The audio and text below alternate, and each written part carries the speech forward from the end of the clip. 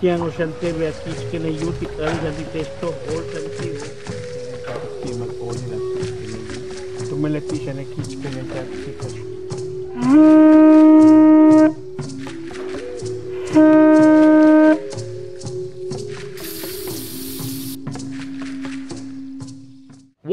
On, members of the barrio? It's John, and I'm coming to you from Chunkanan, which is a Mayan village about one hour from Merida. And today, I'm going to show you perhaps the most unique accommodations that I have ever booked in my life. We are at Sac Nicté, which is a spot that allows you to have Mayan palapas and spend the night right next to a Mayan village. We're gonna be sleeping in hammocks. Enough talking, why don't I just show you guys around? What's behind door number one? This is our sleeping area. I would call it the bedroom, except there are no beds. We are going to be sleeping in these hammocks. This is completely Mayan style, exactly how the locals would sleep. And here's the other one. I Have a nice screened view of the backyard here. We're basically in the middle of nowhere, which is exactly what we wanted just to uh, escape the daily grind a bit. There is no Wi-Fi here, which is a blessing, I think. The bathroom has uh, most modern things that you would want. Electricity, does have hot water, shower. Tub's actually pretty nice. Hi, Mom. Now we are approaching the kitchen, and Adriana is already testing out one of the many hammocks here. Yeah. ¿Cómo estás? Muy bien, muy a gusto. And if you look up, every single little uh, place here has a palapa. This is a Mayan roof made with palm leaves. Not a real parrot. We also have a pool. So while this is off the beaten path, there's plenty of little luxuries on the property.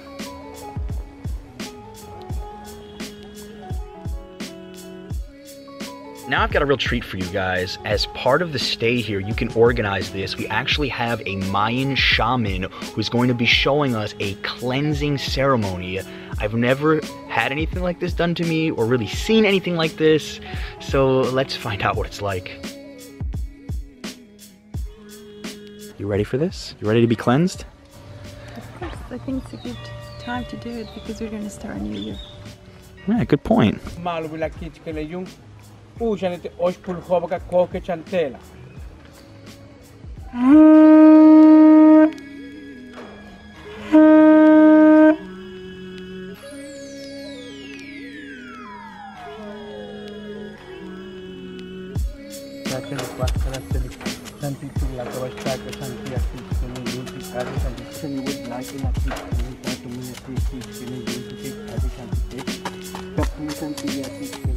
My favorite part was when he was beating me with the leaf. Um, at first, I found it kind of awkward, but strangely at the end, I think Adriana used the same word light. I feel really light right now.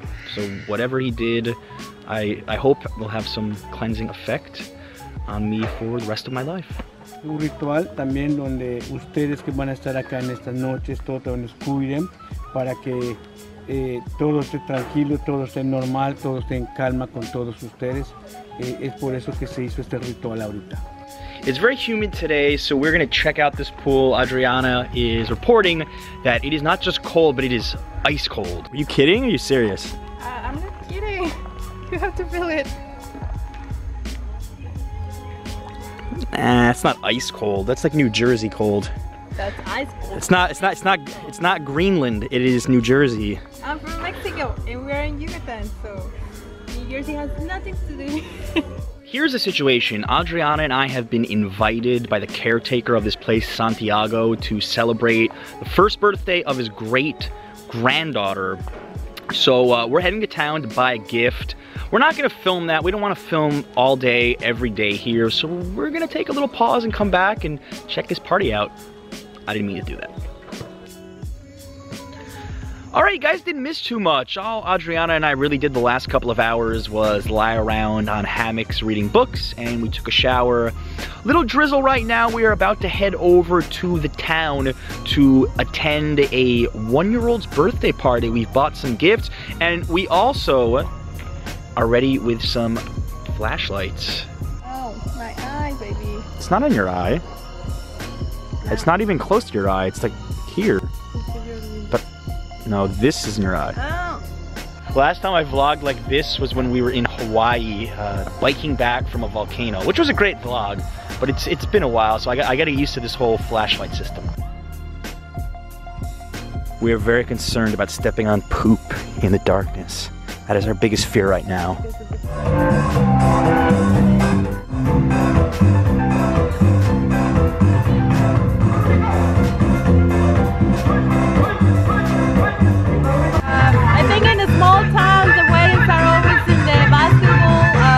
Court. court, and they invite everybody, so everybody can come. We are at the caretaker's house, about to go to a birthday party. We're sitting waiting for this party to begin. But so far, we are loving the hospitality. Hospitality. I'm thinking in Spanish now, so I'm forgetting English words. Hospitalidad. Hospitalidad.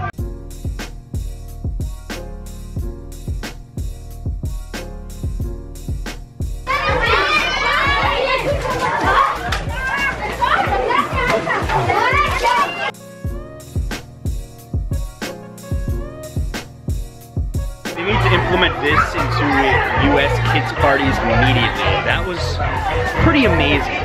After hanging out at that birthday party and experiencing some amazing Mayan hospitality and eating a ton of candy, we're back at the Palapa and they're actually going to be delivering us dinner. This is something you can order here and we're going to be showing you what it's like. So this is chicken with rice and pasta and vegetables. I think they made it in northern stuff, but with uh, I don't know how you call like like um old oven with actually wood and fire, because you can feel this flavor on the, on the soup. And, flavor? Like a smoky flavor, exactly. Now the hard part, guys. What is it going to be like to actually sleep in a hammock? I'm ready to bed when we film. I'll probably put that on the video.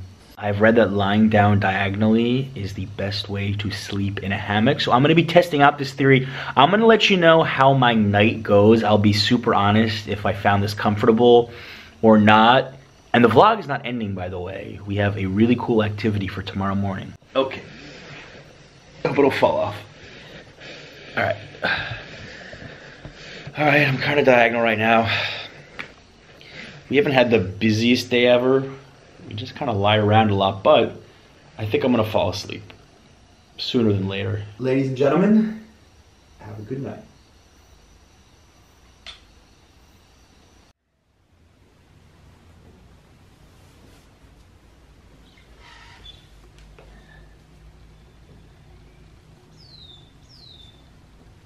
I actually slept better than I thought I would. The trick with a hammock is finding a position that you manage to feel comfortable in and then try and maintain that position. So I actually slept okay. Would I do it again? Maybe, but it, it, it takes some getting used to.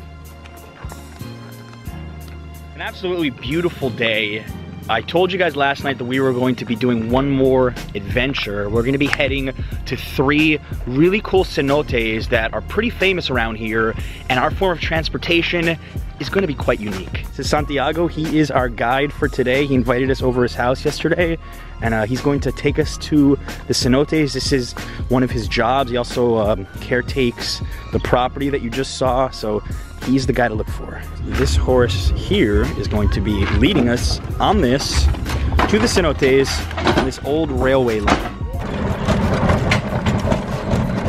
It kind of feels more like we're on a tuk-tuk in uh, Thailand.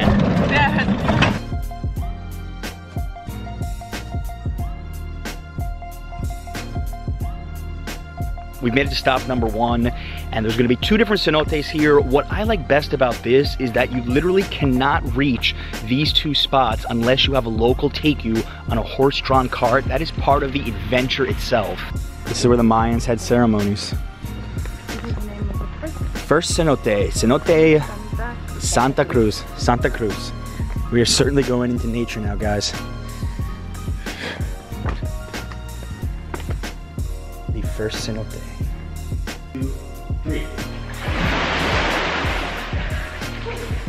This one we literally just wanted to jump in to kind of help us wake up. We only had one cup of coffee today, so on to number two. This is the scenic way out. Wow.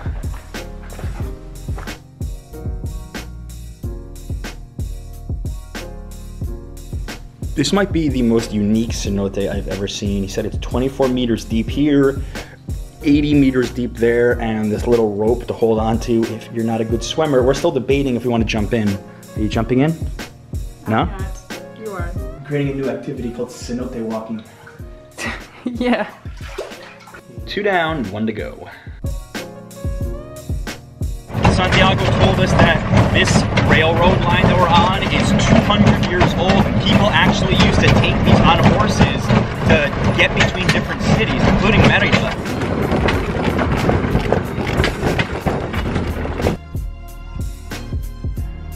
Last stop on the cenote tour.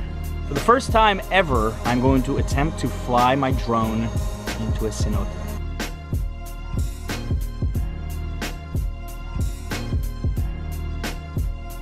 We've got the best one for last.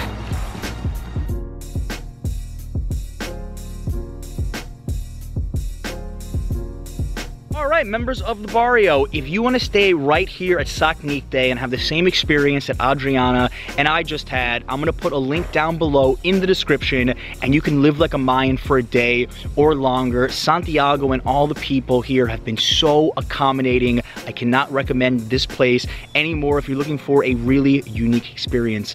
If you're new to this channel, I want to make sure that you're subscribed. Leave me a comment. Tell me what you thought about this video. Thank you so much for watching. Until next time.